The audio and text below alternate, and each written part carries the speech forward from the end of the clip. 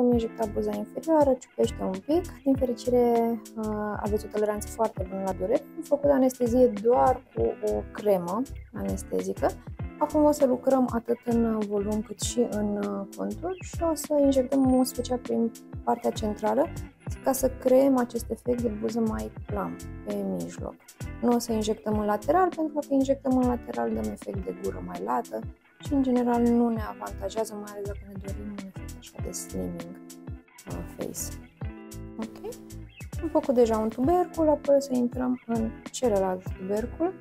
Buza inferioară, în mod natural, este dezvoltată din doi tuberculi care se unesc pe partea centrală, aici, și formează un mic riduleț pe care noi o să-l prezervăm. Este fix forma buzelor pe care o are Angelina Jolie. Mă refer la cea inferioară, cu acel rid ușor central.